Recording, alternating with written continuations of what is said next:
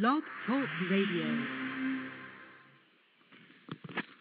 Welcome to this edition of Late Night in the Midlands on Blog Talk Radio with your host, Michael Vara. Vara.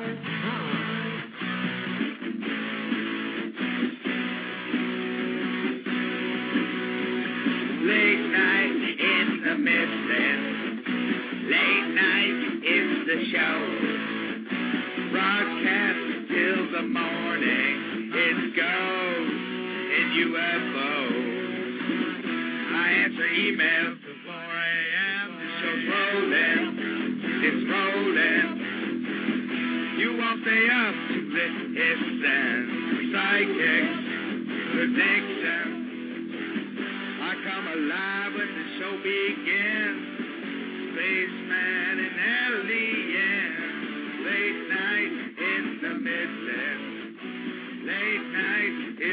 Show. Bringing information you should know from my goal. Look to the sky and see hovercraft exploding, exploding ready to do an EVP.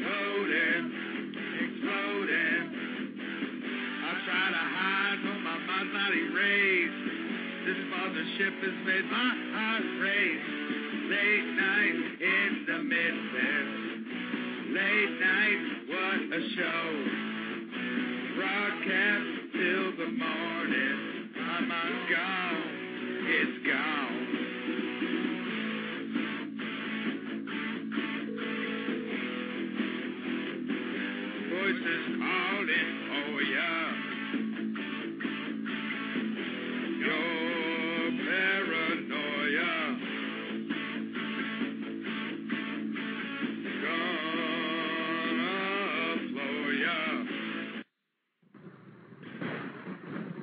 Hello, everybody, and welcome to Late Night in the Midlands. I am Michael Vara, and this broadcast is coming at you live out of Columbia, South Carolina.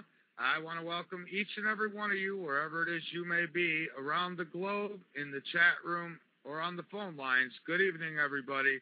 And uh, wow, we have a exciting two hours uh, put ahead for you here, and I'm going to try not to waste too much time so we can get right to it.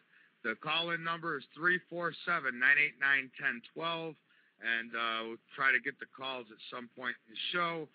Uh, the website's www.latenightinthemidlands.com and www.latenightinthemidlands.info. And if you want to email me, you can do that at latenightinthemidlands at yahoo.com. Okay, everybody. My next guest tonight is pure genius. Uh, this man has a story that I think each and every one of us needs to hear. Born in England on May 2nd, 1932, John Searl experienced recurring childhood dreams that led him to design a revolutionary electrical generator fueled only by rotating magnets and large discs that emulated the flight characteristics displayed by many UFOs. It is said that the first Sunday of every month between 1968 and 1972, Searl demonstrated his generators and flying discs to the general public. Television cameramen and news reporters were present for the event, and Searl claims he also demonstrated his flying discs to U.S. military personnel. Now, John Searl will be accompanied tonight by Bradley Lockerman. Bradley Lockerman is best known for his work as a contract player with the CBS daytime series Capitol and ABC's General Hospital, while serving as a board member with Los Angeles County Epilepsy Society. He directed and co produced the short film A Very Special Year. Brad created BKL Films and Keepers of the Earth LLC for the purpose of bringing the John Searl Story DVD to the marketplace and is credited as writer, director, and executive producer. Everybody, please first welcome with me is Bradley Lockerman. Good evening, Bradley. Hello, Michael. Great to be with you, and uh, thank you for that great introduction. Uh, yeah, we got a bit of a mind bender for your audience. Uh, John Searl is going to knock your socks off. Yes, I, that's what I understand, and I have been looking very forward uh, to this interview for sure. Uh, so, Bradley, why don't I bring uh, John on with us, and then we'll we'll go from there. So, John Searl, you are on Late Night in the Midlands, my friend. Thank you, Mike. I'm looking forward to this evening, and I hope the audience will also be excited by it. All right, I'm sure they are. Uh, we've got quite a few listeners tonight. Uh, a lot of people anticipating this, uh, as well myself. Uh, so, Bradley, uh, how did you and uh, John get together? How did you meet up? Wow, uh, it's. Uh, I know that uh, he's smiling where he's sitting. Uh, we met in. Uh, yeah, we met in 1994. Uh, I was with another production up in Estes Park, Colorado, and John Searl happened to be uh, stunning an audience with uh, his usual lectures, uh, which talk about his life and his device and the things that he's done. And uh, I had a day off shooting, and uh, he had a day off of um, teaching people, and uh, we met in the lobby of the Estes Park, or I'm sorry, the um, Stanley Hotel in Estes Park, Colorado. And he proceeded to tell me the most mind-bending story, and I know I'm using that word often because it really is, and I think your audience, when they look into it, will will discover that. And so Very we, fitting. yeah, yeah, and so we hit it off, and uh, at the end of about 25 to 30 minutes, I was so stunned. My jaw dropped to the ground. My eyebrows went on the top of my head, and all I could say was, "You're a movie." And then I thought, my goodness, this man is the is the best movie I've ever heard of. And so uh, it was by 1996 when I went over to actually watch him uh, stun an audience with his information at um, Mid- um, Middlesex University in uh, North London and from there we just um, worked as hard as we could to get his story out. John, is that about right? That's correct. All right. Uh, so, John, uh, let's learn a little bit about your childhood, uh, if we could, um, and then we'll move on from there. Well, first of all, I was placed in care uh, by the law uh, of England and uh, at this site I was placing, the it was only what we say uh, the old lady, the mother of the daughter who was to be my foster mother. The shape of the area of the building, the grounds, is actually precisely like the strut and cabin of the IGV. So I was in the right place to receive the dreams, triggers that will produce the dreams, from which I really have learned everything I know because I'm deaf. When I say deaf, I don't hear hearing like you do. It's feeling. And therefore, I couldn't uh, in any way understand what the teachers were saying to me. So I was never brainwashed right at the beginning of my life with normal crap that is taught children. From there, mm-hmm. we had the dreams. The dreams were what we term work dreams. They are giving you instructions on how to do something. And this is something which I believe passes down through generations and generations of families until some trigger wakes up that information. And when that wake up, if the person believes in it, he, he or she will work at testing it to see if it will work. In my case, that's what I've done. I tested that information only because my first job was to apprenticeship to become electrical engineer. And therefore I met the conditions in which would wake up those dreams into reality. Okay, and now it's possible that uh, some of the UFOs that uh, were seen back in the '60s um, could have very well been yours, huh? Well, I was flying them in the same area where all the mass uh, claims were being made. That that's a fact. Okay, and uh, you spent a lot of time um, working for other power companies uh, and so on, right? I mean, is that how you got started? Well, yes. Uh, let's first uh, been uh, in the field to train as a, a electrical engineer would bring me into contact with the items that would be needed to understand to be able to go ahead and working for the electric board themselves as in fact one of the four men in charge of 11 areas of conversion, which was a mixture of DC and AC powers at different levels, to convert them into one standard range of energy, which was to be 240 volts AC, ready for nuclear power to switch in. So I was in the right place at the right time to get this technology into testing. Okay, and uh, Bradley, uh, John is a lot, I'd say a lot like Tesla, isn't he, with the technology that uh, he's put together? Yeah, I would agree with that. Uh, where Tesla left off, and John will tell you that uh, Tesla's greatest gift, of course, was the uh, AC current electricity. But yeah, he picked up where Tesla left off. And for your audience, it was around the 1920s when physics physics itself took a branch, and that branch, of course, was relativity, following Einstein's uh, E equals mc squared. But what was thought of prior to uh, relative uh, relativity and uh, that type of physics? Uh, we knew that as ether theory, and uh, ether theory is strangely coming back.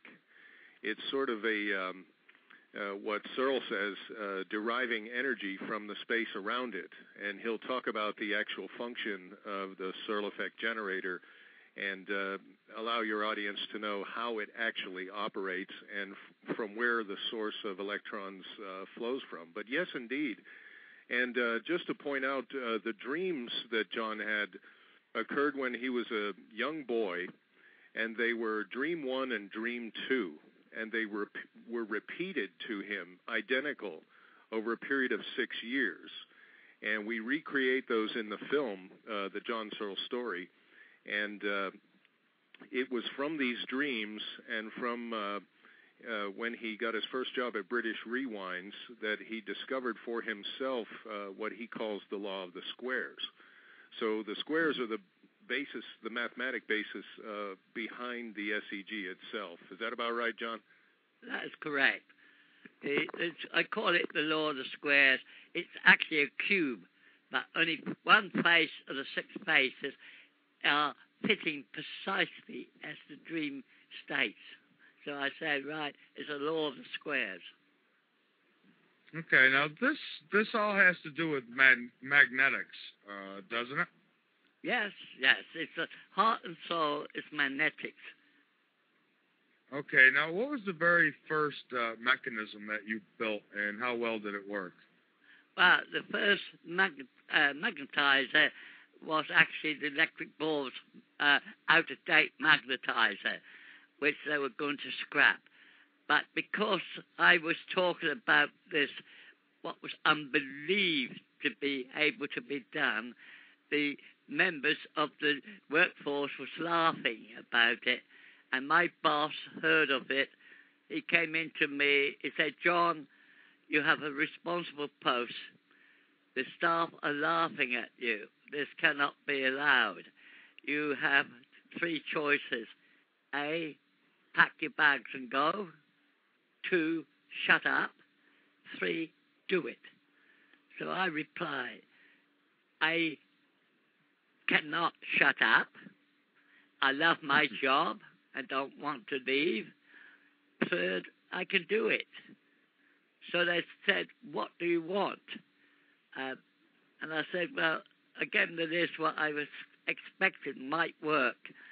And the only one thing they never had was a rare earth. So they said that I would have to pay the cost of the rare earth. Otherwise, all the other materials and work would be done free.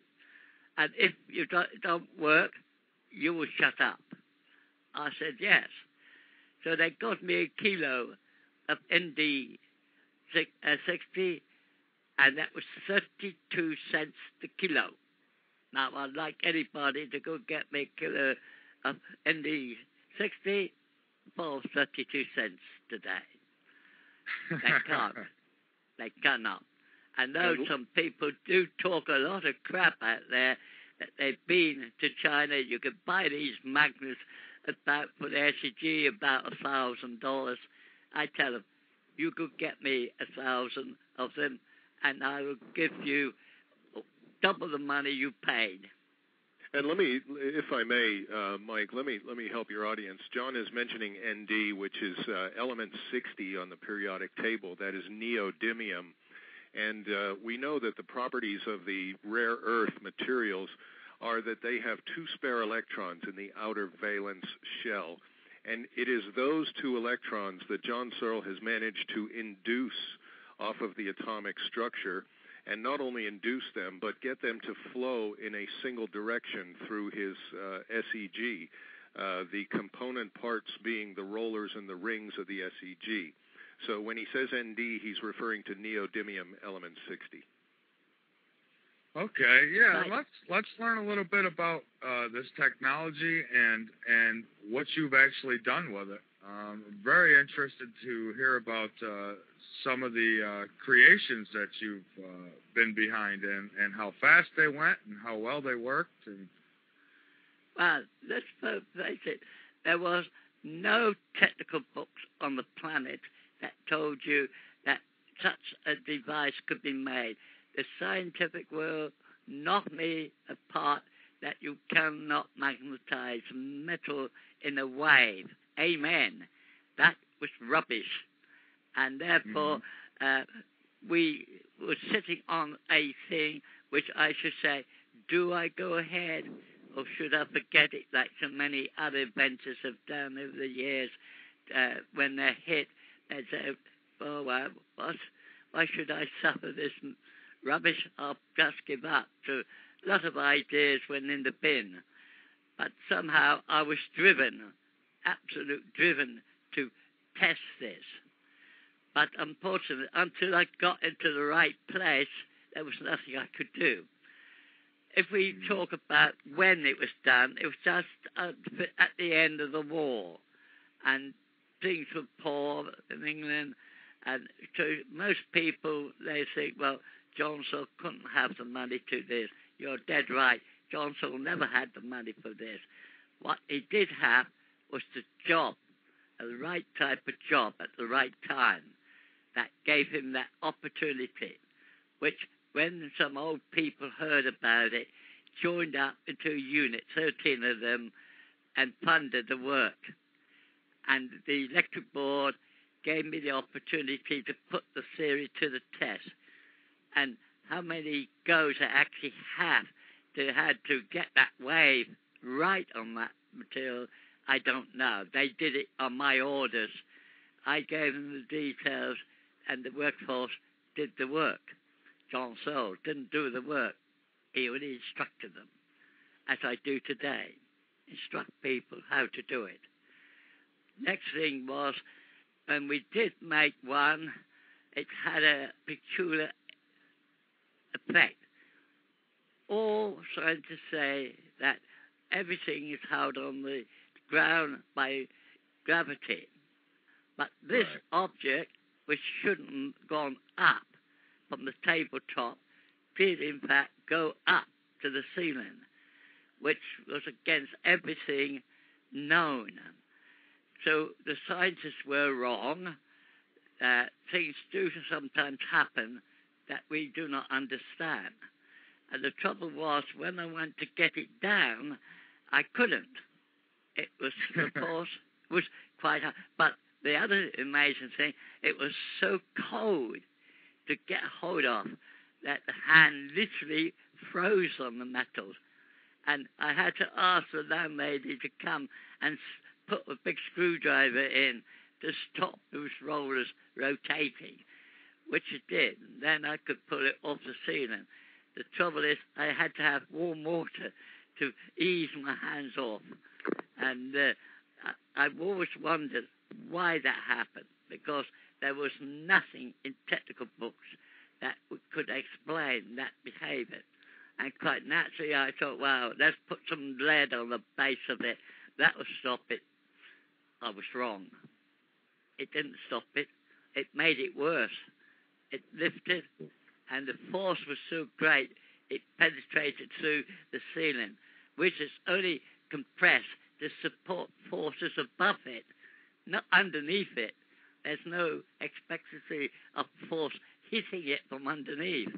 So it's only stressed one way. And of course, the force underneath just went through it as if it was a piece of paper. But of course, it didn't stop there. It carried on and went through the ceiling. And of course, the ceiling is placed to support the atmosphere outside, not from the inside. And of course, the weight of the object went straight through the ceiling as if it's a piece of tis- tissue paper. And that was about, say, a few more feet up, and then it hovered. And then eventually, within a minute or two, uh, it had a big glow. What people may not realize that at that time, we only had long wave radio operating. That means people had a long wire running from the uh, receiver down the yard uh, to collect this information. And of course, this silly piece of copper, which ran down the garden, enjoyed the static effects coming from that structure. And of course, all radio sets came on together, and of course, it was quite a dim, so I wasn't very well welcome in the area, And, which and I if I believe is a natural function.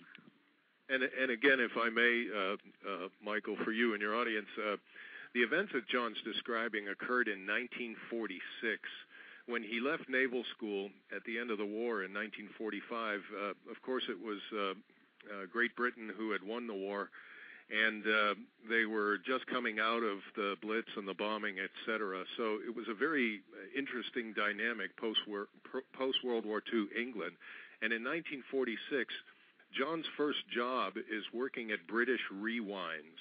Now, that's a company that basically refurbishes and uh, designs and um, rebuilds generators. And so he was involved with winding the coils and dealing with magnets and magnetic fields. So his entire effort uh, during his workday was based on magnets, coils. Now, when he got home to uh, Crawley Road, and you can see this too in the film, we visit Crawley Road.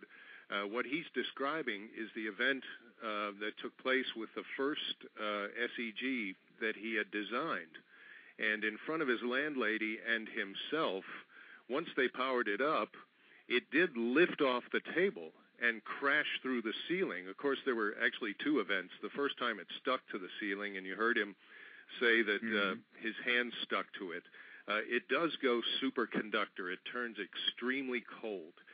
And the second event, uh, which was a short time later, uh, it actually crashed through the roof because what uh, John will tell you is he thought if he put weight on the bottom and uh, held it down that it wouldn't fly off. Well, what he did was he increased the kinetic energy, and he increased uh, the ability once it broke through that the weight of it crashed through the ceiling, crashed through the roof, and then he's describing where it hovered for a bit and then began to glow.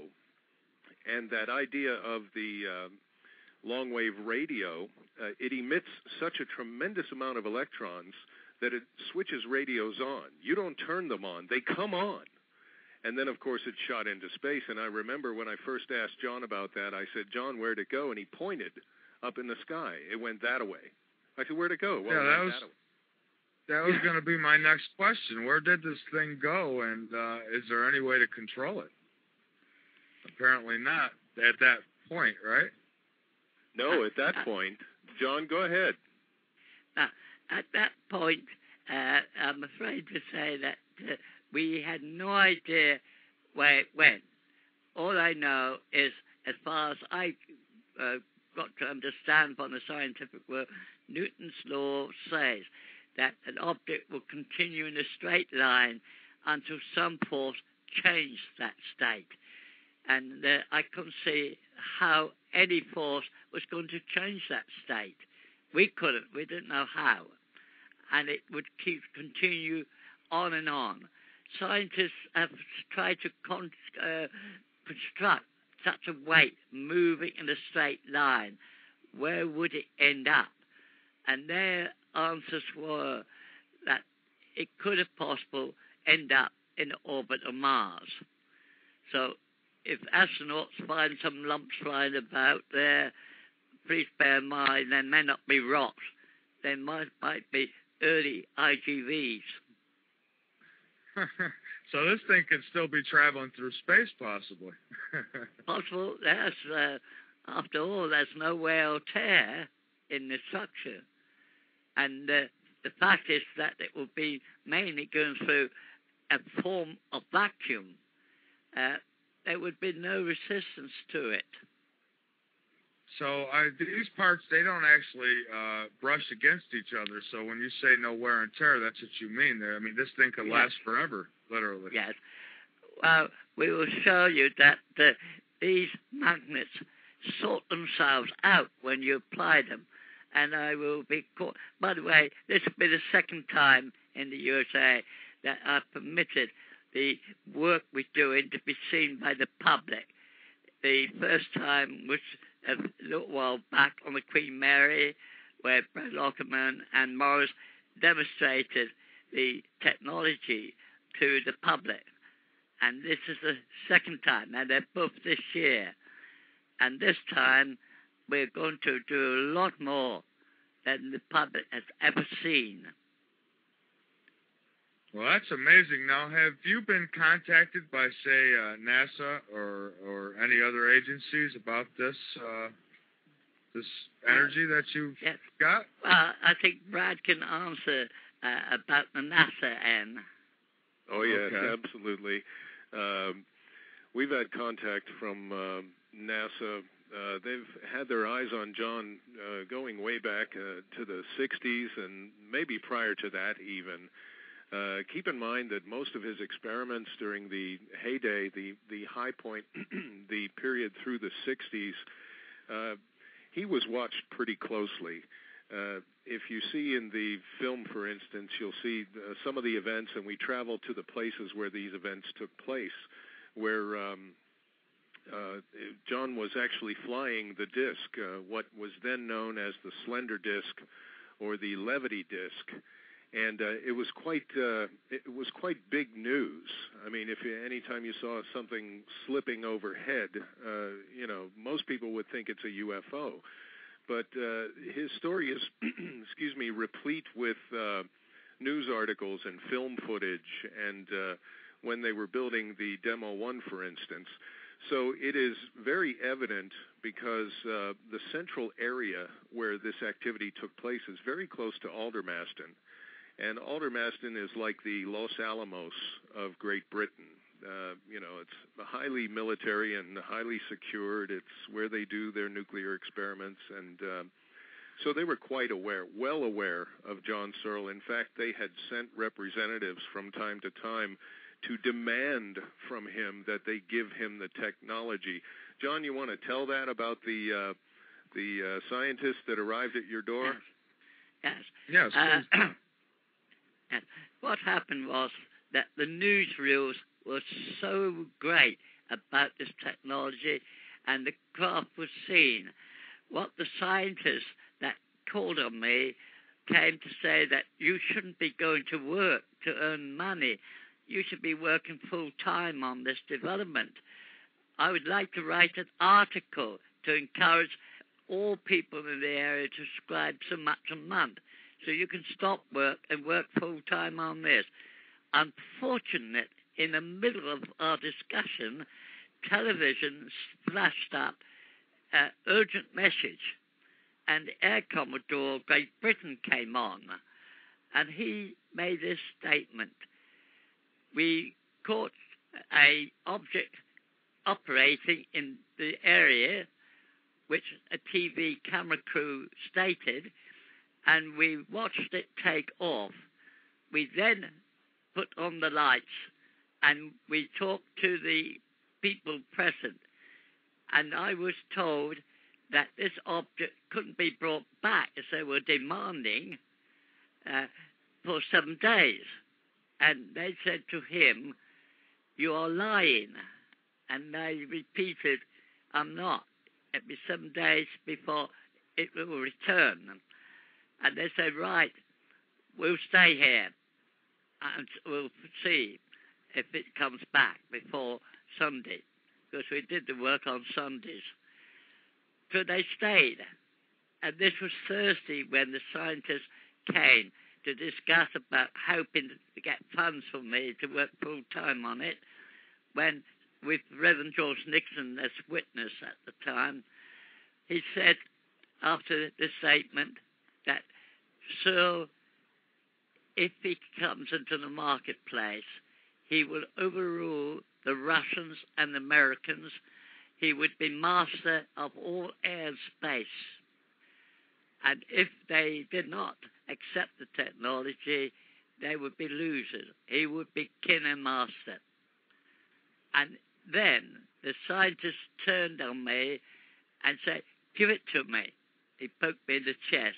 Give it to me. And I said, What are you going to give me? He said, Nothing. But you would give a lot of work to a lot of people. And he turned on the Reverend Nixon and poked him in the, in the chest and said, Make him give it to me. And the Reverend asked him, What are you giving him? He said, Nothing. He'll get royalties. He said, uh, Solomon's signing now. And he said, Right. So you won't give it to me? I said, No. Right. I'll write an article which will turn everyone off from supporting you. Then you will have to give it to me. Well, it did take time for that to, uh, to write that article up. In that time, the world had heard about it. Money was being received from Australia, from Japan, from every county of a mount, uh, state of America, and from Sweden, Holland, and UK.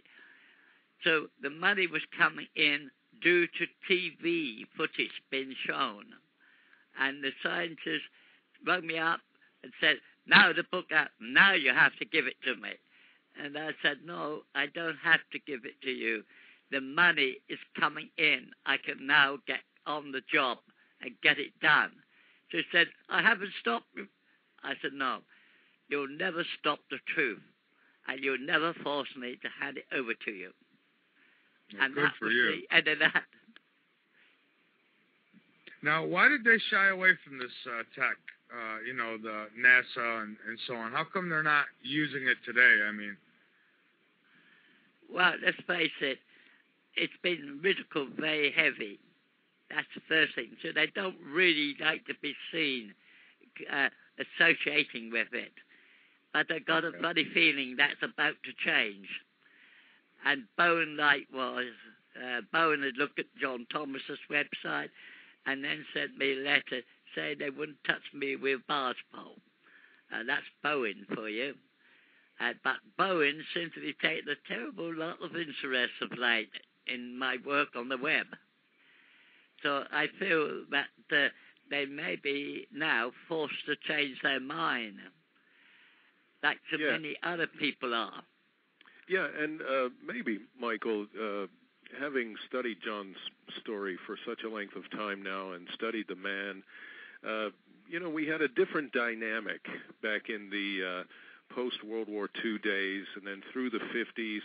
And of course, through the 60s, uh, there was a very different dynamic. You know, we'd not yet really had the first uh, energy crisis or the first oil problem or the first gasoline shortage. So there was a very different zeitgeist going around, and frankly, one of the one of the most significant events, if not the most significant event in human history, occurred in the summer of 1969 when Neil Armstrong stepped on the moon. And actually, I'm old enough to have seen that, witnessed it, as are you know uh, so many people.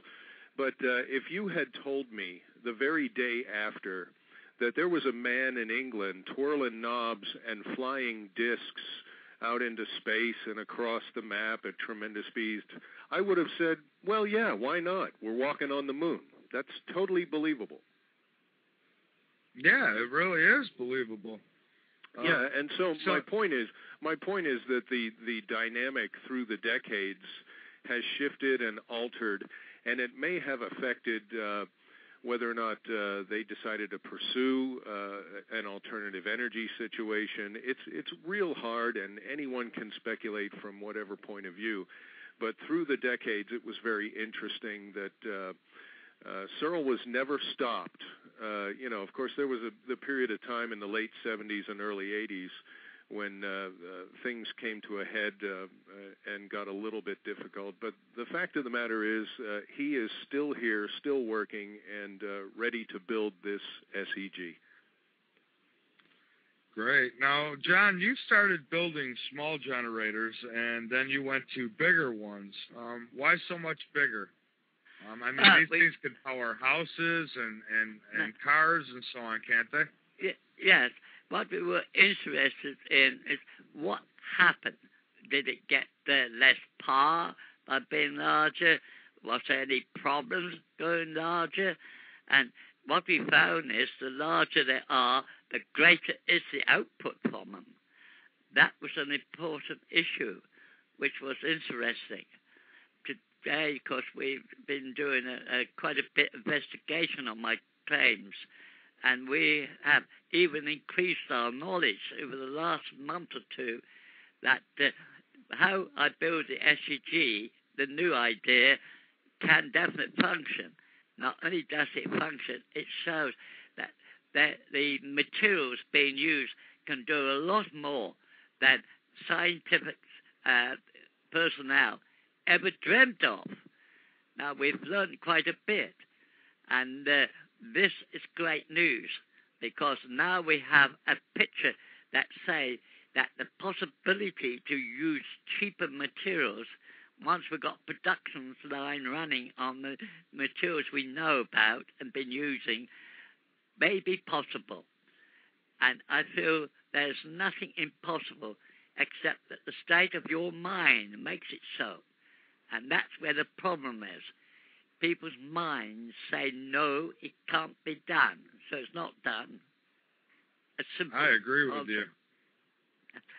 It's yes, I done. agree. we've lost a lot of great ideas because uh, the inventors just gave up because the scientific world kept making mockery of them. I've never given up. In fact, one reporter asked me, Are you a crank? And I know a second or two to go, and I turn to him and say, If a crack is the proof of a great man to be, then I don't mind being called one. And then, of course, that is true. All these cranks, Einstein, Newton, and them, were all mocked and they were all insulted, and uh, some were brought to court and threatened. And uh, so, this is a standard action of certain people. Most are people who are failures in life. They want to impress people that they're so clever but there is not one expert on this planet today that know about this technology. There's none. We're training them. The nearest to an expert is Morris. He spent 15 years studying and researching every claim I made, and everyone he can show at the Tesla event on the 29th that he has proven it to be true. The, therefore, the SEG by the new system for mass production, which the old system couldn't be done by mass production, is possible, and we're going to go full speed to finish off the test work, and then we'll get it onto the marketplace. Now, do you think that uh, it'll be allowed to get on the marketplace, being with uh, big oil and and so on, and the money that they make with that? You would, you know, it seems like they have stopped uh, this technology from getting out for quite a long time. Yes. Well, today the oil people have a very big major problem. Now, order to clean up the pollution they've been making. This is too costly. They are making claims they are improving it, but not. And now they've got the oil spill, which is going against them pretty strong. If the SEG had been on the marketplace as it should have been in 1968, that oil spill would never have happened because the oil would not be needed to run cars and things of that nature. And it wouldn't be needed to run gas systems. So the oil demand would be so little that oil well would never have been drilled in the first place. And the oil uh, problem in the Gulf would not be there today. It is ignorance and greed that's brought that oil effects in the Gulf. Oh, you're so right. You are so right.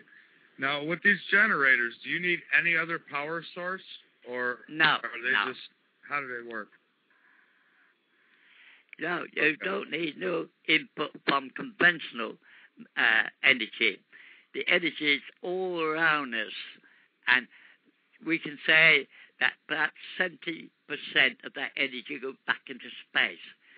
We do not use it because so far they have no way of using it except the wind, the sun. They use a little bit of it, but too much energy goes back into space. It is this energy which the SEG, the solar effect generator, draws in. So it's a converter. It draws in the material from the fabric around itself, and there's plenty of it, and then it puts it into uniform motion instead of the random motion that all nature things are. And because it does that, it can compress a lot of energy like a beam. And it could be done to such a high level that you could cut steel with it. But what we want to do was simply cause electron flow in a cable feeding lights and motors and things. And what we discovered was if you drain the system, it speeds up to match the required demand.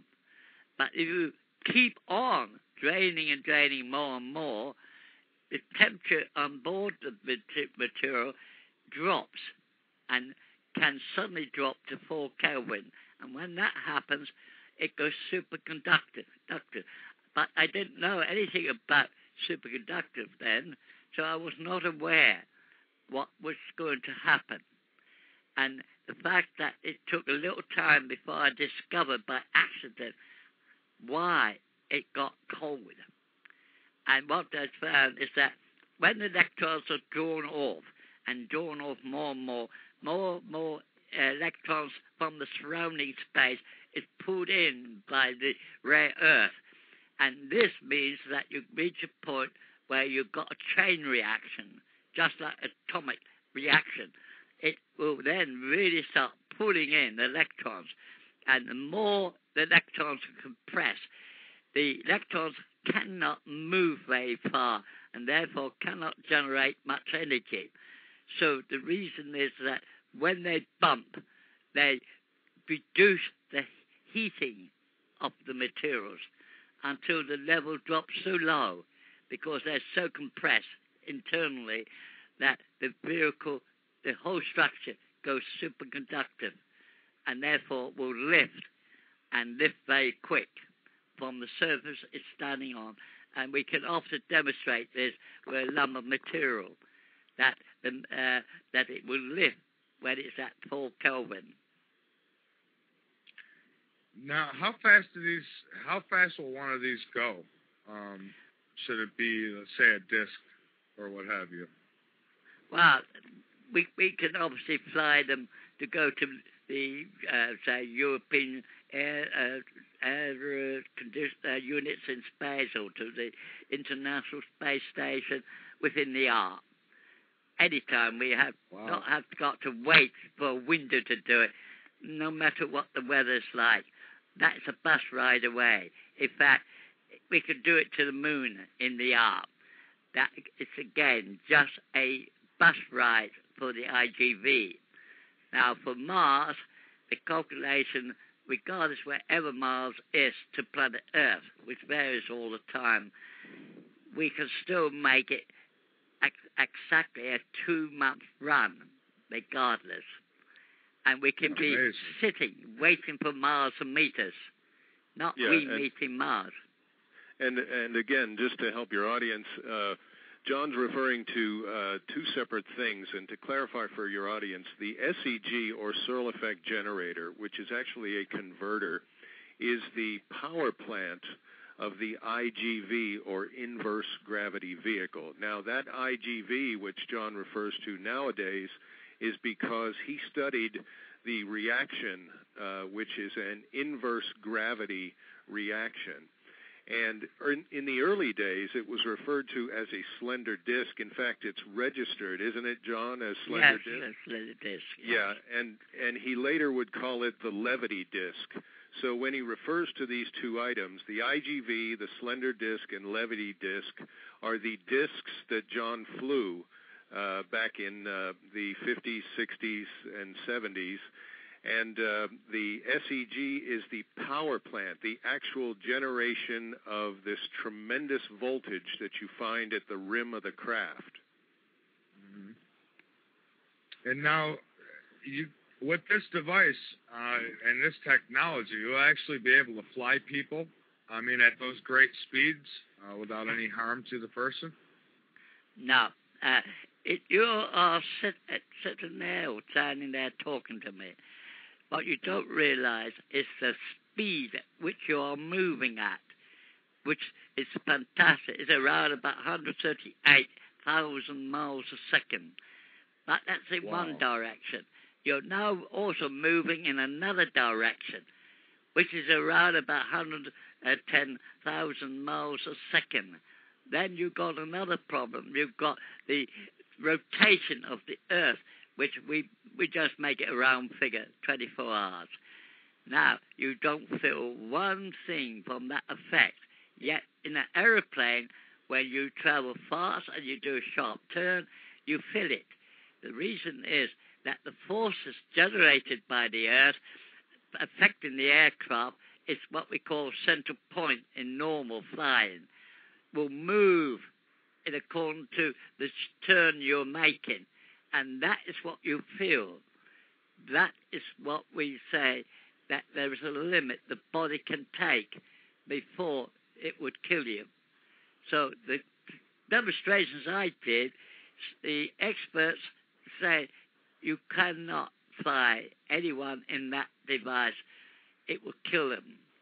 But of course it does, because inside that car is precisely like how it is to you at this moment talking to me. No different. And the fact is that even better, it's half of the forces acting on your body to what is acting on us here on the planet. We know that from the test, the, all the sensors fitted and all the graphs drawn out shows regardless, no matter how fast you travel or how steep you turn, in fact, you can flip right over and the G's remain half a G. And uh, we know it wasn't faulty equipment because equipment was changed and the results are still the same.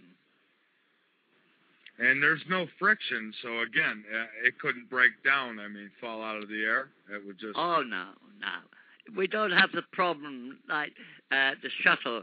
Uh, we can actually, once we begin to sense an atmosphere, we can, of course, stop and we can slide in. And because we're coming in at the angle, it just cuts through that uh, light atmosphere end, which generates a lot of heat. Yes, you will see a glow from Earth, but inside the craft, it would just be like a, simply a light burning for a few seconds, and there wouldn't be any effect whatsoever on the structure. You would come into the atmosphere, and then the atmosphere is pushed away from the vehicle. So there is, well, would be about two feet to even three feet clearance around the craft of the atmosphere. So we would not have any heating effects taking place. That's amazing. Now, do you suppose if life uh, exists uh, out in our solar system, that this would be the type of uh, power that they would use uh, to move Well, their yes. crafts? Let, let's uh, consider you cannot possibly take the amount of fuel on board for such long runs as we see NASA going to the moon had to use uh, the natural forces uh, system, so it takes them longer to get there. Uh, when the um, unmanned rockets go to Mars, Venus, and that, they have to give it a swing effect to get it there because they don't have the power on the board to be able to uh, push the vehicle to that side. Where we have constant power regardless, because the power is on board, it collects the forces, and there's a lot of energy out there, not a vacuum as we were taught. Uh, there's plenty of energy to get, enough to drive the vehicle even beyond the speed of light. We wouldn't think of doing that uh, for a long time to come. We have a lot to learn about the technology. We have a lot to learn about our universe. Most of what we know has been assumption, assuming this is what happens. And we are now beginning to learn we are wrong. We have to Mhm. rethink again about how the universe was created and how it actually functions. We have learned quite a bit on the local area, but not as the total of the whole of our universe system. So we And have with a your lot to learn. generator, we could, with your generator, we could certainly learn uh, a heck of a lot more. That's Oh, for sure. yes. So that brings me back to this question: is why this tech has not been utilized? Uh, what have other investors and countries thought of it? Uh, you know, you would think that as great as it is, and it is great, uh, somebody'd want to pick up on this. Well, yes. You see, the trouble is, it's all this stuff out there, man in black destroying inventors' products, government destroying them, and that. Well, from my experience, the government does not destroy anything unless it's a con. And then they destroy it because their duty is to protect the pub- public at all costs. I always invite the military, government surveillance, and that. The door's open. Come on in, shake hands, and let's have a chat and a drink. We are open window, and the FBI has already been to John Thomas and are aware of what we're doing, and they have ordered the first two SEGs that come off the production line when they come off. So the FBI are quite aware, like that all the governments of America and Britain are quite aware. In fact, Germany, Australia, New Zealand are quite aware. The mail from each of the countries of the world that I requested permission to land the IGV all replied, and they've been out in my newsletters, the actual letters, and in fact, one or two are in the latest uh, books that I'm putting on the web for people to see what happened over the years. The opposition to the craft from the airline side was most welcome. In fact, Hong Kong officials said, how, uh, how can you change all our uh, flying machines to all electric? That day we look forward to.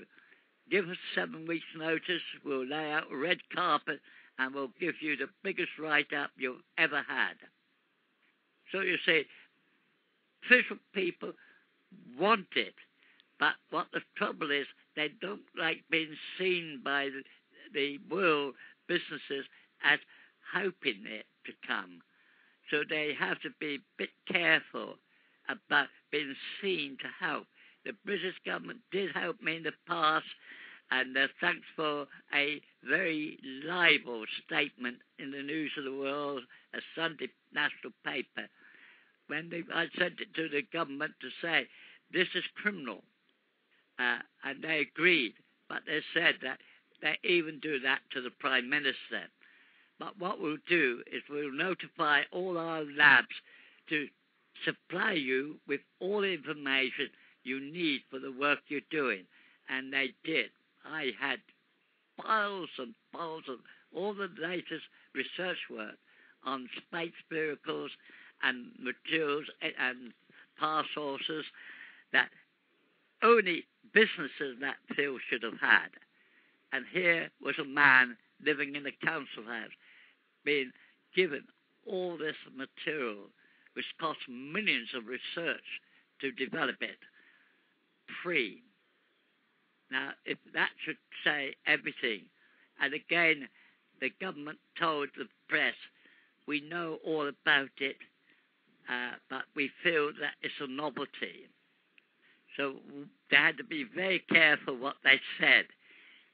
So they did admit the truth, they knew about it. That if they knew about it, if it was a con, I would have been arrested and charged. But Well, sure, and you've demonstrated this. You, you've you've demonstrated this to uh, uh, media outlets and, and so many others that I mean, people have seen this uh, work. So I don't think there's any denying that uh, it's it's definitely not uh, fake by no means. That's correct. It's been, uh, so we say, hard work because uh, I tried to fight against the anti people who did not want to lose profit by this. And though Shell and people like that might want to try to stop it, uh, they have to accept they are producing so much pollution and they can't prevent it. As I've just been to- told, in Kuwait, they burn crude oil straight from the wells to power their electric supplies, and it's a terrible smell, which is clearly not good for people living in the area.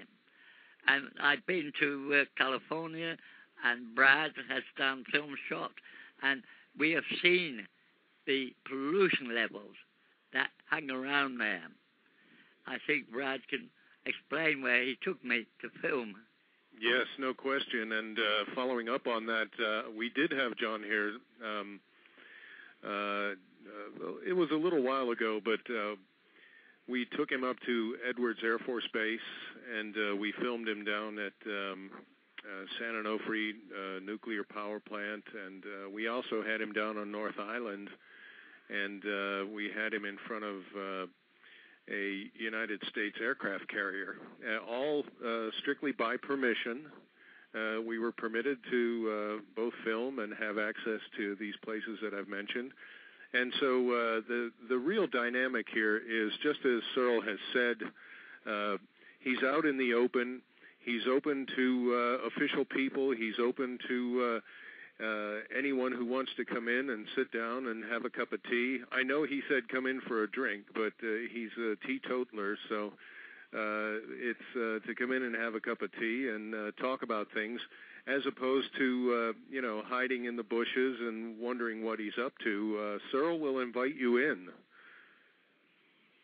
I would love to to witness this for myself. Well, so uh, and everybody's asking where uh, can they get their hands on this DVD? Well, what's holding it up is a firm, permanent base where you can set up your lab, complete the testing before you go into production and make sure that whatever power loads, how often you switch from one to another, will not cause any malfunction in the system because this is a new way uh, of approach of, to be able to mass produce them. I have no doubt whatsoever that there will be any malfunction, and therefore the SEG won't be charged higher to cover for any returns due to faulty workmanship. The other thing too is I'd like to point out if we got, and there may be a site. Let's uh, make that point clear. I, hope to be visiting this site, and there's every chance that it will be just right to set up the lab and then the production lines. In fact, we have a perfect trained crew to set about the work if we get the cash to set up. Cash then is the only key issue appears to be holding up the work to go ahead in the United States. Not only that, in the United States, we have registered not only the Magnetic Company as an American company, but also the space side as well, so the IGV can proceed. That has just been acquired and now legal to proceed. And I like to know, uh, let people know, the man who has been given the t- uh, task of investigating the structure of it so we can look at the possible materials that are now available uh, to bring it into reality. Will be, we have already got his flight set up to appear on my show with me, and we expect the work is done on the model so we can show how it's going to be built and how the, the key functions are going to be of its operation. So it should be a great day for all those who come. And uh, I'll help you with that question, uh, Michael. Uh, uh, simple uh, uh. And uh, it's really the quickest way uh, to understand where Searl is coming from and what he's about. And let me also uh, put in that uh, people can look at detailed information on uh, searlsolution.com, S-E-A-R-L-S-O-L-U-T-I-O-N, searlsolution.com. And of course, uh, one of my favorite sites is Swallow Command, and uh, that's uh, John Searl's site uh, coming out of the UK. Okay, great. Thank you. And uh, John, uh, how has the public reacted to your demonstrations? well, shock, absolute shock. Uh, and I think that will be the same on the 29th of this month when we demonstrate for the second time to the public of the USA. And what we've seen in the past, which are tested on the public, I find when people suddenly walk on the presence of some object before them, they run the other way as fast as they can. And secondly is anyone driving into a road and come round a bend and come face to face with such a project, they too slap the gear in reverse and back out as fast as they can. Uh, that has been shown time and time again. Again, another incident on the way back to Newbury from Warminster. There's a slope hill. And down this hill on this particular day, there was a tractor and trailer coming down. There was no driver in the seat.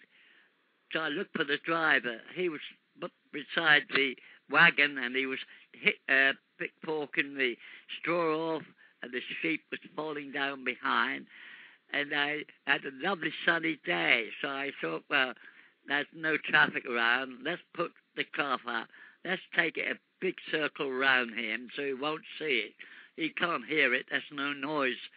And then bring it over him so the shadow on the ground eventually cover him and just keep it there. How long will he react and how will he react? And of course, I was surprised that he see this shadow on the ground. There's no noise. He eventually looked up, and when he did, he dropped his fork and he ran up the hill, and the tractor continued down the hill, ending up in the ditch. I then considered it was time that we packed up and moved out quick because unfortunately we had no cameras at the other end to see what happened when he tried to explain why he had no tractor with him and why was he doing a four minute mile run and uh, what actually happened there. And of course, uh, what what John is explaining now are some of the, some of the events from the '60s when uh, he was flying what are called the P craft, uh, the P11 and the P12, uh, the P series craft, which were different size diameter uh, flying uh, slender discs or levity discs. Um, and uh, he would test uh, the reaction of people. And what he's describing here, of course, is uh, the reaction of the guy in the tractor. John, uh, tell him about the time you had the cops. Uh, the cops were chasing it. Yeah, I see. We uh, the question was, cops are trained to investigate strange things and confirm what they are. And on this particular day, I, this, I saw this police car, and I thought, well, there's nothing else about. Let's see how they would react. Would they actually do what their training is? Would they investigate? And uh, behold, the fools did. I stopped the car. They stopped. They got out and went to approach, and I moved it on, so they had to hop in the car again, and we teased them. And then, unfortunately, they told the, the their bosses and that about what they've seen, and of course they brought in the experts, and the experts are they, they were looking at Venus. But the now, fact what is, would it cost? Oh, go ahead. I Oh, go right think if- I think Brad will extra, explain what they found on this subject. Oh yeah, d- just to finish up on the story of the policeman, uh, the two constables. Uh, we received a piece of footage about a year and a half ago, and it was uh, two constables uh, in very grainy black and white that were describing this craft, this uh, flying disc that they had been chasing. Now, of course, uh, the policemen are trained, and they're trained for observance, and they're trained for protection. And these guys did indeed uh, play a cat and mouse game with Searl, not knowing it was a Searl craft. And we have this small piece of footage. You can see it on the John Searl Story uh, Facebook page. Uh, just look in the videos and you'll see that little clip. But it's the two policemen that are describing uh, what they were chasing that day. And one of them draws a perfect, identical uh, picture of what would be a John Searl levity disc. Uh, the angles are perfect, and they're drawing in what appears to be the energy fields or the vortex, which appears at the top and bottom. Correct, John? Right, yes. And so, as it's slipping through, it it will appear to be a slender disc, but it will also appear to have a peak and a valley. They're vortex vortices that are caused by the spinning magnetic field. And of course, there's a lot of moisture in the atmosphere, so the atmosphere spins. And uh, part of the uh, levitation is not just the interaction of the field with the Earth's gravity, but it's an interaction with the atmosphere turning at such a high speed vortex on top that it acts like a tornado and it sucks it up. It literally sucks up the device at the same time it's repelling from the Earth's gravity. Is that correct, John? That's correct, yes. That is absolutely amazing, and I have been going through uh, quite a few of the videos, and I gotta say, I mean, it's it's just amazing uh, that this technology is out there, and uh, you know, I, think I've heard uh, John mention it in other interviews uh, that people just want to own it, and uh, and that's been a problem as well. But I guess my question now is, if this went into mass production, how much would it cost, and how big would the device be to maybe power a home? Well, first of all, people say, if Searl did it in 1946, why can't he do now? Uh, I could have made SEG 1946 up to 1968 for 108 pounds. That's impossible to do today. You're talking of thousands of pounds to make it. In fact, to, to set up to make that first one, it's going to cost a few millions. Amen. And uh, so life is different. Your world is completely different to my world that I lived in. So we anticipate that the first SEGs for homes will cost at least 16,000 probably each, and then gradually reduce as more and more production lines are put into operation. It is the mass that if the more material you buy, that at any one time it gets cheaper, and for mass production we will be using many tons of raw materials and therefore the price will come down. And I think in the end we'll get the generators down for home use probably to a thousand uh, pounds, uh, a bit more dollars. But I think the price will come down very reasonable in a reasonable space of time. And, for the and motor Jo- car, And and John, uh, and John, if I may, describe for Mike and his audience uh, the 15 kilowatt unit for the home, the size and the output. Well, we are. Uh, our aim is to set up the production line in the in America, uh, and the box size we hope will put it out about two feet wide, and maybe as high as a foot, foot and a half, and it's only four inches thick. It will fit in your wall, and you can seal it up. There is nothing to go wrong with it. Uh, you'll never have to maintain it. It's a free running machine, and all you have to do is to forget it. You've got no bills, no pollution. But what you do have is a healthier condition where you'll feel good, no stress like positive state rooms do today. And the other thing that's beautiful for the housewife is that when she scolds herself, she only needs to turn towards the power unit where it is, and it will cool in seconds. The heat will go, be gone, and eventually that red uh, effects that you get on the uh, skin will gradually fade away within seconds, and the pain's gone. It will be a blessing for them, and I think And again, all the no dust anywhere in the room except on the floor, just to vacuum it up. Beautiful. What more could a housewife want? And John, uh, if I may, Mike, um, uh, describe for the audience. You were about to say uh, the unit that would fit in a vehicle. Yes. Now, on my uh, event at Leeds uh, University, we have a French company, car company, coming to draw deal up with me for producing the SEGs for cars. That's one thing. From Iceland, the same day, will be another party who want big generators to power the grid lines with. So there are two great instances coming together on the same day for me to give the okay. We can go ahead and work together and achieve it.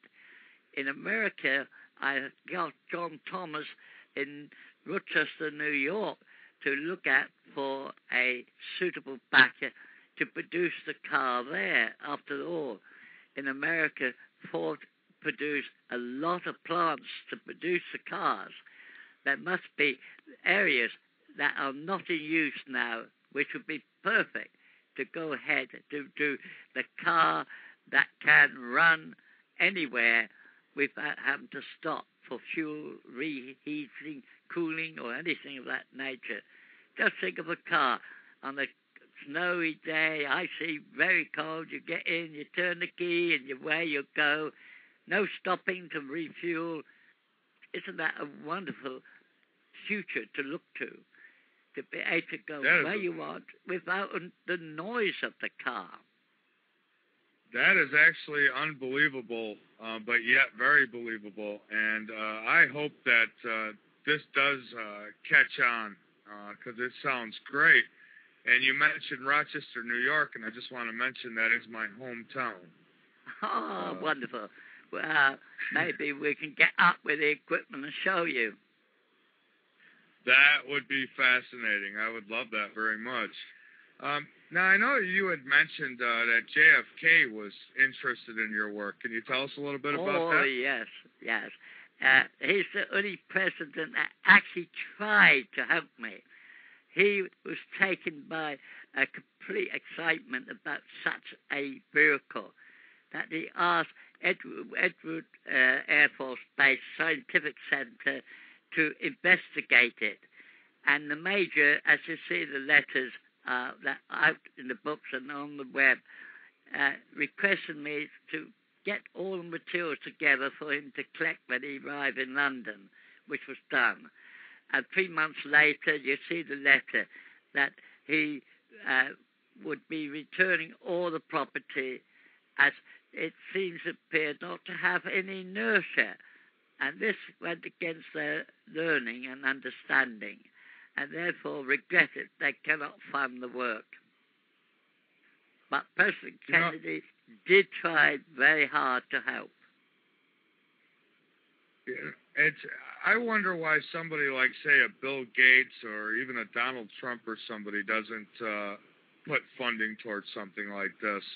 And uh, before you answer, I want to let everyone know if anybody has any questions, you can call in at 347 989 1012 and press 1 so I know you want to get on. Okay.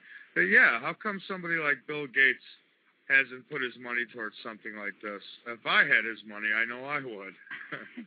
yeah, but let's say he he was making fortunes out of the computer world, so he did not really want to be bothered with something he did did not understand, and that rather reminds me of my lecture in Texas, where a man with his big brim hat come up to me and said, "Why do I want to buy an SEG for?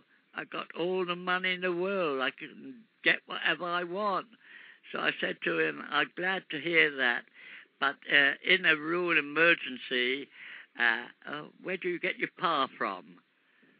The SEG will carry on working, and you have energy to get people out fast." And that is the difference between life and death, how quick you can move. The IGV can be there in seconds with power and the big power tools to get cracking. We cannot do that today with all our technology. It's a time factor. It does take time. People have to use their hands, which is a slow task. The IGV could be set up as the World International Rescue Unit and do the work of being at any problems very fast and would be able to move hundreds and thousands of people out of the way of danger in seconds. No other system could match that. That's amazing. I mean, you know, we're talking about something that could get people to the moon in one hour. Uh, that's just fascinating. And, uh, you know, again, I would love to see this uh, in the works uh, for sure.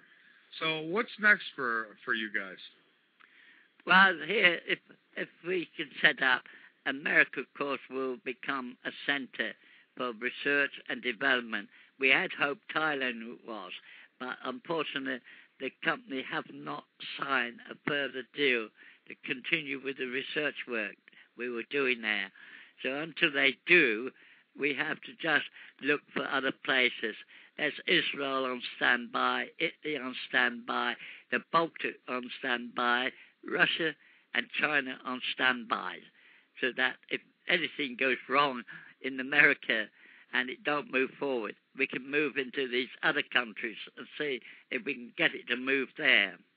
So we're not short of place, uh, so, uh, countries prepared to do the work if one country stops due to lack of funds.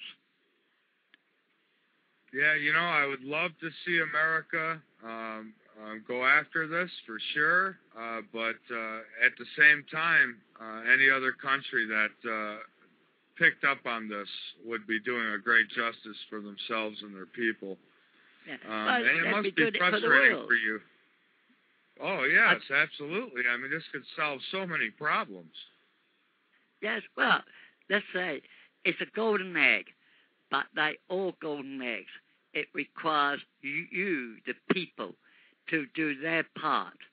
The SEG will help nature to recover, but while we keep destroying nature, it doesn't have any hopes of success to re, to help nature to recover. We so we have to make a decision. We have to do our part to assist the SEG to do its part. Together, a paradise will be created. Your deserts will be greener than they've ever been for a thousand years. We'll have factories working there, people living there, enjoying a wonderful time that today looks impossible to do. And let's put it, the pyramids have looked impossible to be done. Yet the nation stood behind their leader and did it. And today we are still arguing about how did they do it. because they did not leave records how they did it. We are going to do the same. We're going to make deserts greener and perfect to live, and but we will be different because we'll be leaving the records, how and who did it, and that will be for the future generators to admire, like we admire the pyramids. Well, I'll say I'm very thankful that you've never given up on this and that you've kept uh, working and fighting hard at it because uh, it is to the benefit of all mankind um, that this this technology gets out there and that people know the truth and learn that we don't have to be dependent on oil um, and, and gasoline and so on. I mean that there is a clean energy that we can use and a very effective one at that, as you've proven. Well, let's put it this way. It's the only system I know that actually improves your health in this at the same time because it actually puts out so much negative ions which we need to be healthy. And I can assure you that my interest, though I sometimes felt like giving up because they stole all the equipment and put me back to A again to stop me from doing it, that there were times that I nearly gave up. But because somebody came forward and put the money in to get me restarted, did I come back. But this time, I have come back with determination that these evil minds will not stop this getting to the world population. I'm determined to see it is in production so they're wasting their time that they are still trying to seize it and own it so they can control who has the device. And even now, there's a man daily pressing my different team members to sign a document which literally makes him in control and he can do what he wants to do. And he's trying hard to stop me coming to the Tesla show. There were two others, but uh, they're given up because they understand there's no way they can buy me out.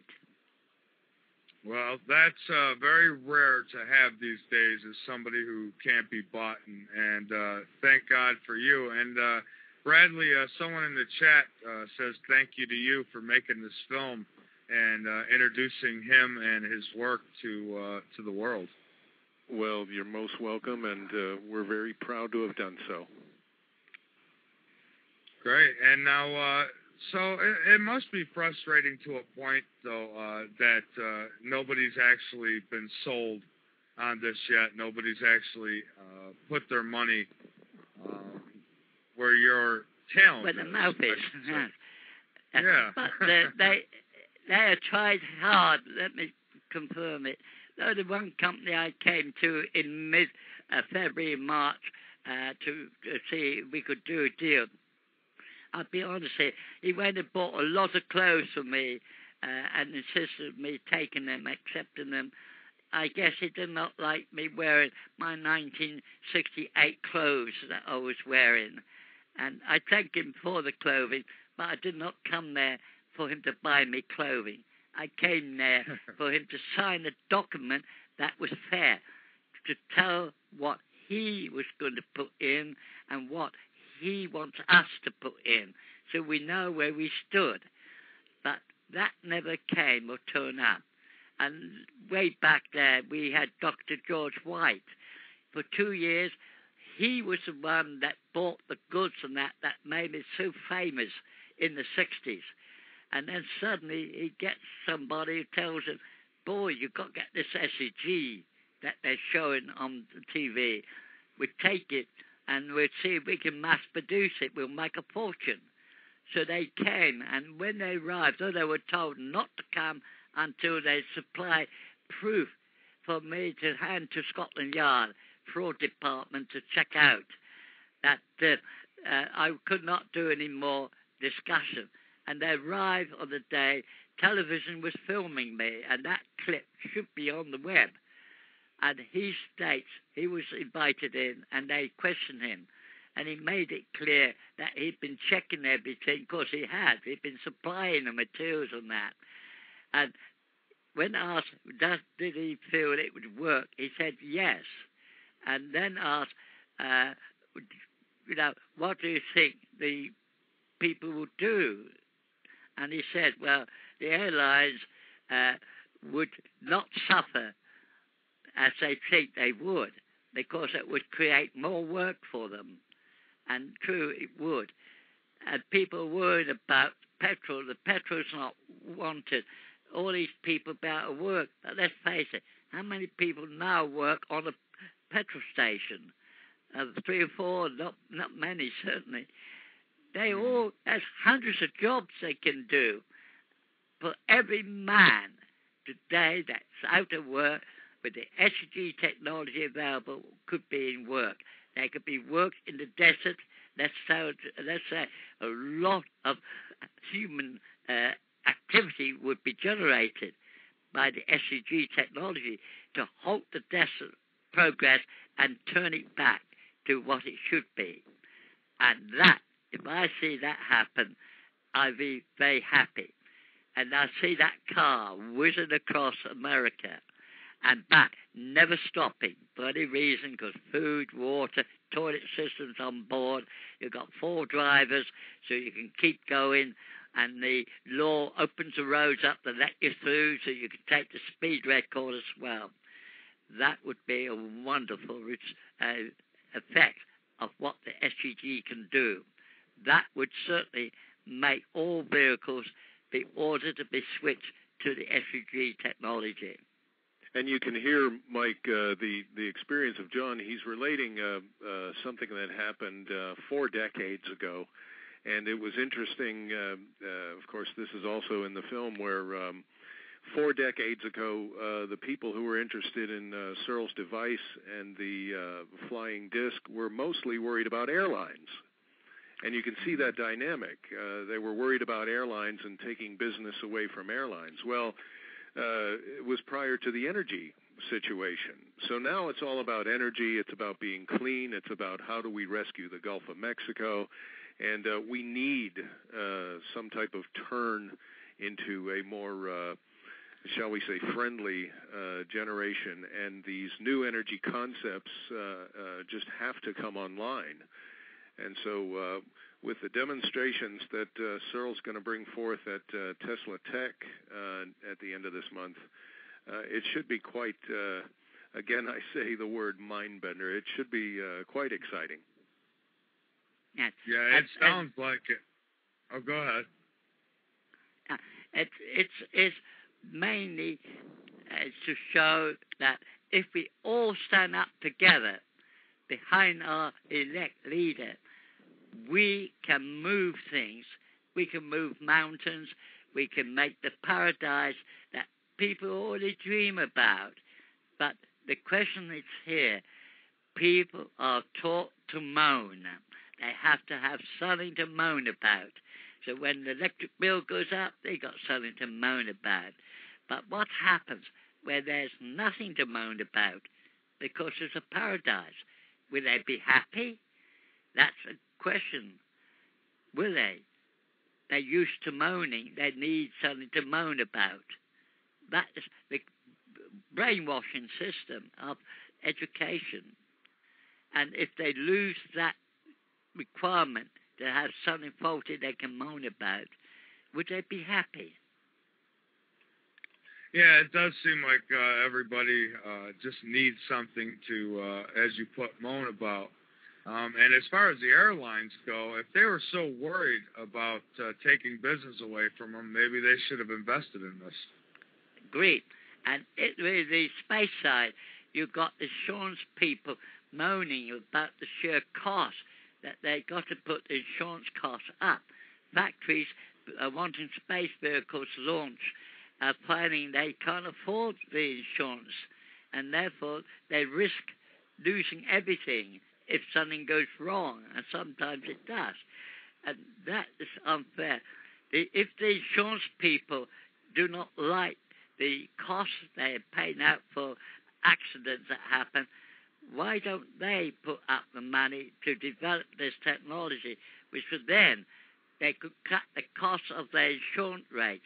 Let's put it, we, the, our companies, will not charge the insurance charge like they do now to launch their satellites for them when we actually back into flying business. We launch them without insurance. We will have our own insurance because we know A, we do not have the problems that rocketry presents. We do not have that time delay, having to wait for a window to do it. You want a satellite launch, right? Let's board it and let's go and put it in place. You instruct us where, and we'll do it. You want the satellite back for resurface? Tell us where it is, guide us. We'll collect it and bring it back to you. We will not be charging you insurance fees because we don't need your insurance money because we know from past work that all these problems the rocketry have, the IGV do not have. It is opposite to the rocketry and that conforms to the law of the squares. There are always two prime options. They are reversed. The IGV is reversed to the rocketry, therefore conforms to the law of squares as it states. Okay. So now, this wouldn't be like a uh, power grid per se. Then I mean, this couldn't be affected by solar flare or or a lot of the other things that affect our power grids. Uh, this would actually survive all that, wouldn't it? Oh yes, it would absorb this energy and use it as electrical power. Uh, it absorbs any radiation, regardless, and that's why nuclear power uh, products, its energy can be absorbed by the SEG technology, and therefore the radiation, the uh, particle, will become stable, and that means that we can then dump the safety material back. But I would think that the quickest way, because there's so much of materials that have been buried, which will live for a long time, and if they break out, would affect this planet completely. These, should be dug up and sent to Jupiter. Jupiter can easily handle them and dispose of them. It is time we stop, think, and act. Find simple answers to critical situations and act on it. Don't talk about it, do it. You know, you are absolutely an inspiration, uh, definitely. And somebody had mentioned in the chat room uh, what an inspiration you are, and I couldn't agree more. And uh, Bradley, a question for you: Did you ever have any doubt um, at any point in this, or were you sold right from the beginning? Well, I got to tell you, I, I have been so fascinated and uh, following the story so closely for so long. Uh, I really didn't have any time to make judgments.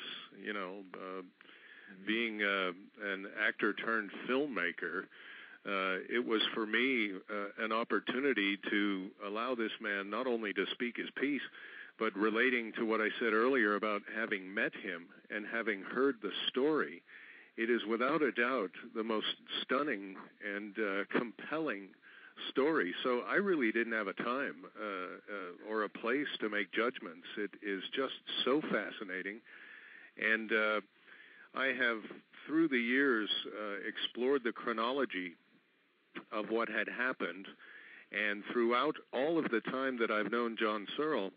I have challenged uh, people that have come to me, people with uh, heavy degrees and high pedigrees, and have said to them, please uh, go through with me uh, and explain to me uh, the ABCs of what John Searl is saying and tell me why it cannot work. And they can't do it. So, as far as the uh, debate, my my thing, and John Searl will say this too, my thing is for anyone and everyone that wants to come forward and debate uh, John Searl regarding how the SEG function functions, why it does what it does. We look forward to that, uh, and he'll tell you right now, John. Uh, you want to have a debate like that? Oh yes, that's the purpose of the Leeds University effort and I believe that uh, in America they are trying to set up a similar type of uh, meeting where a board of educated people can talk and question me, which I have agreed with you to tell them to go ahead.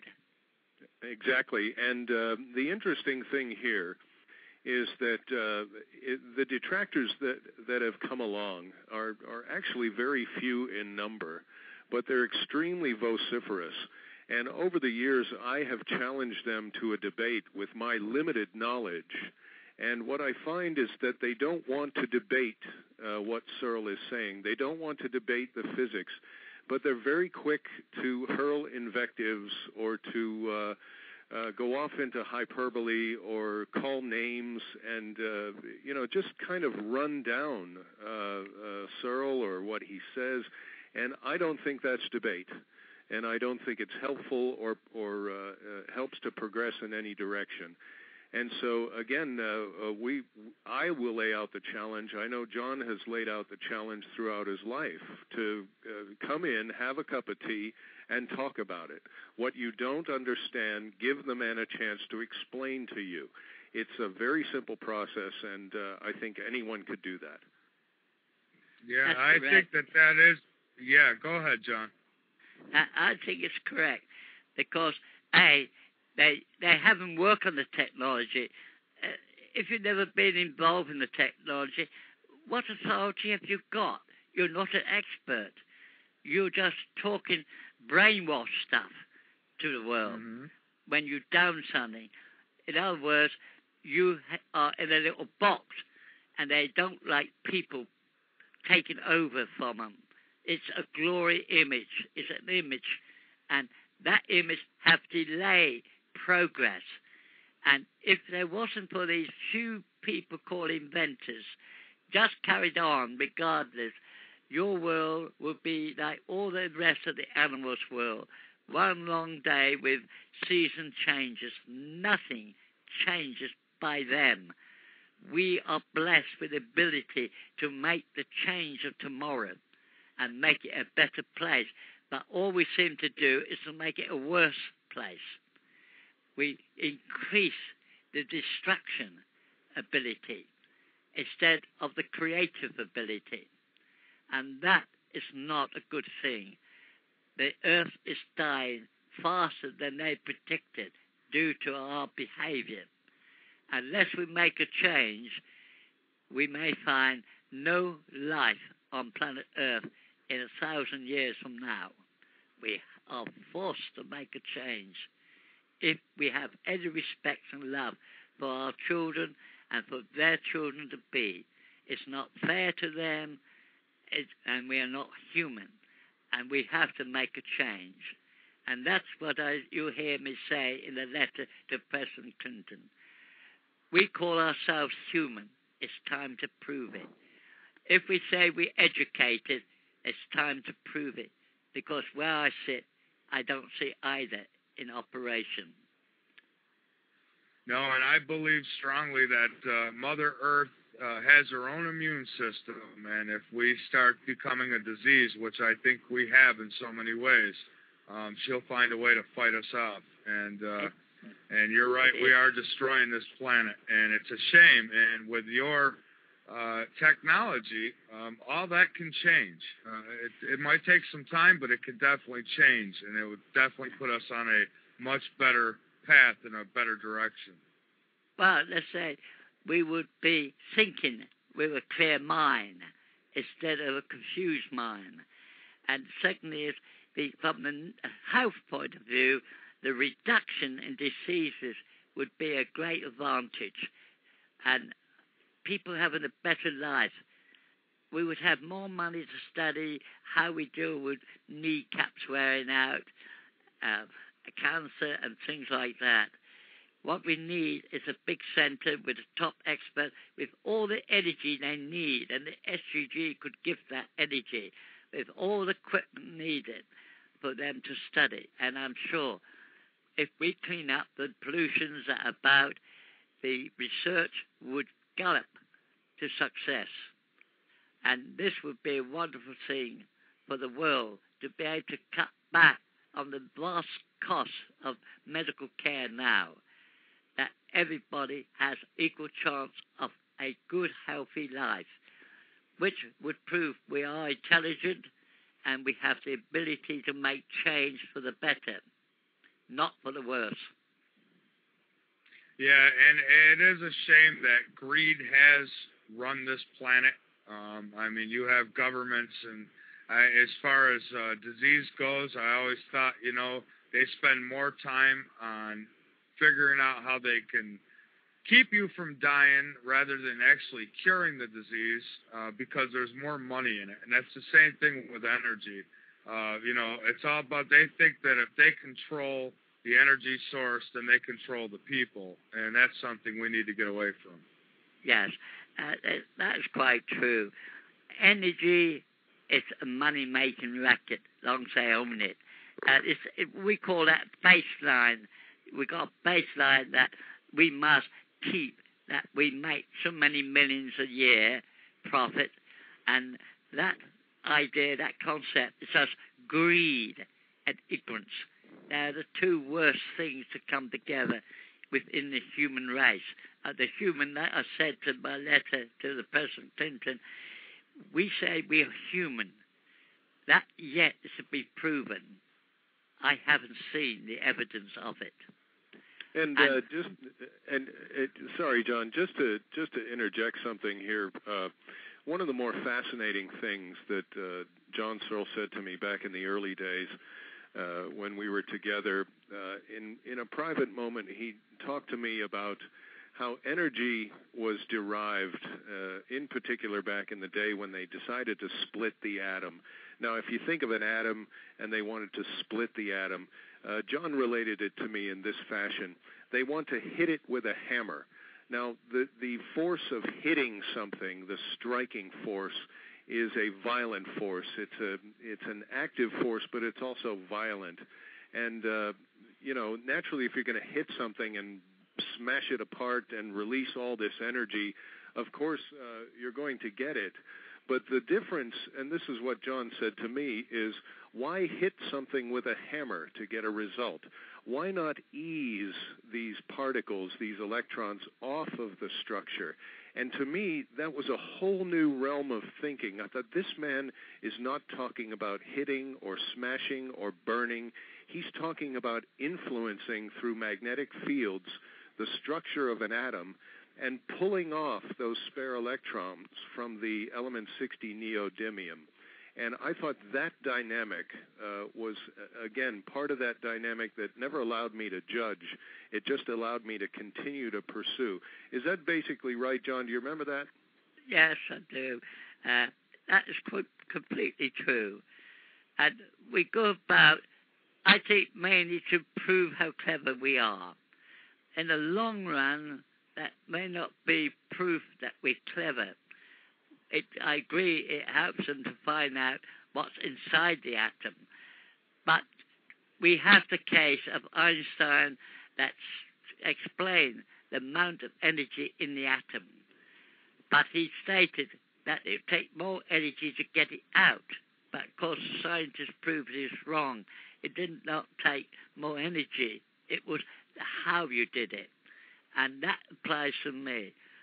I do not cause the atom to release all its energy in one go, thus produce an atomic bomb effect. I need to tunnel into the atom and extract slowly the energy out, control that rate of flow. And that is what the SEG is designed to do. It extracts the energy at a slow rate and can therefore continue to run and run. And, and, and correct me correct me if I'm wrong, John. It is a combination of centrifugal forces and magnetic fields, correct? Correct. Yes. And so he's okay. Easing, great. Uh, no, I just uh, sorry. Go ahead, Michael. Uh, oh no, go right ahead. Yeah, I was just going to say he's easing electrons off of an atomic structure, and they're moving through layered, very specific, uh, measured, layered uh, elements, and uh, moving through to the rim of this device. Now, to me, that was so fascinating and so compelling. And I put this, again, like I say, I put this to persons who are much smarter than I am. And uh, a lot of them say, yes, this, this not only is feasible, but we've got to get to work and do it. And uh, the ones that uh, tend to be the on the skeptical side, they never want to debate this situation, and uh, I find that a little bit frustrating. No, they just want to shoot it down, um, and that's because their minds can't uh, can't really comprehend it. I guess. Um, yes, or so or, many others can. That's correct. Or attack him, or or shoot him down, or or find some other ways. And again, this is anathema to his thinking. You can tell by the effort not to hit something with a hammer, but to ease something out. Uh, that very act is uh, they're very different. You know, you you punch your buddy in the face or you put your arm around and and pull him in for a hug. They're two very different things. Mm-hmm. They sure are. Now, I just want to say, if there's anything else either one of you gentlemen uh, would like to get out there uh, before we close the segment out, um, please feel free to do so. Well, Right. I'll take it. Uh, let me take it first, John, and you close it. Uh, I just want to say that uh, thank you, Michael, and thank your wonderful audience. And uh, I'll say that uh, Tesla Tech is coming up next week. John Searl will be first to speak at Tesla Tech on Thursday, the 29th at 5 p.m., and he will hold a workshop on Sunday at 1 p.m. And uh, then it's off to uh, Leeds University in the UK for a really wonderful uh, premiere of the John Searl story, and uh, John Searl's uh, talk to a very uh, academic crowd, and we look forward to both of these events. Thank you very much, Michael. And thank you as well, Bradley. I, I appreciate you uh, for everything that you've done and for being on Late Night in the Midlands. Both you gentlemen are truly a blessing. Uh, yes, John, go ahead.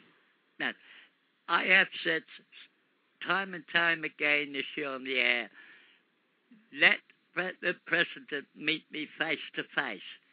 In 30 minutes, I guess I'll get his 100% support to get this technology in America moving and moving fast. He just wants somebody who can lead such a drive, and that will put him out all the problems he's now facing it would be a golden opportunity to clean up the effects of the oil spill that has hit him and, and disgraced him by the public.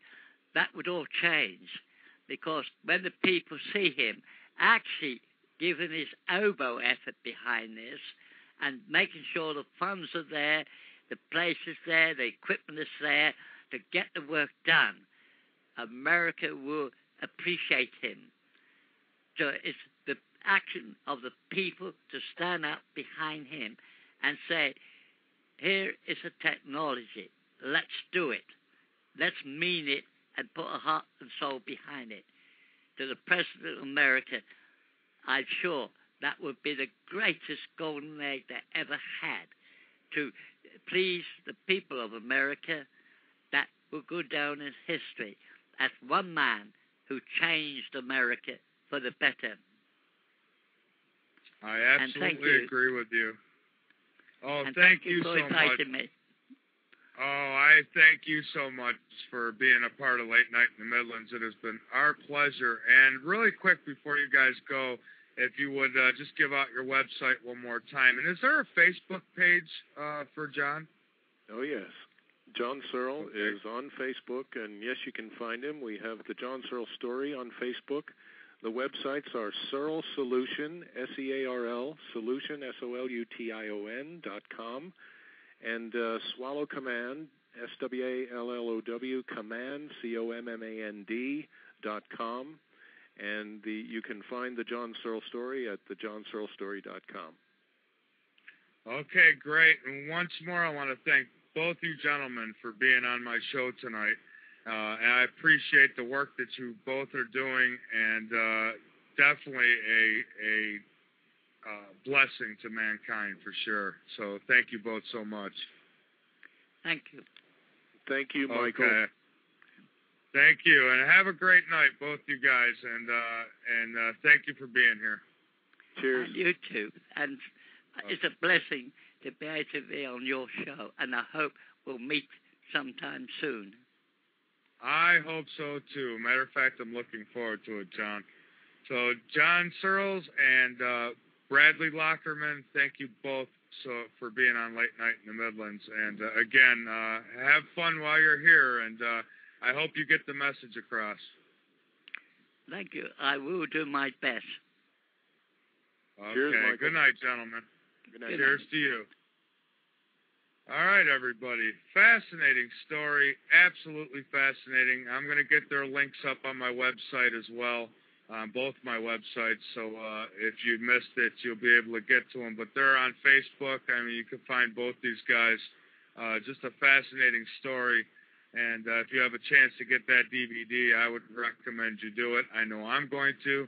Um, and there's so many uh, videos on the net um, in regards to uh, John Searl and his work, so you might want to check that out. I want to take a quick break, and I want to come back to close out uh, tonight's show. So uh, bear with me, and I will be back in just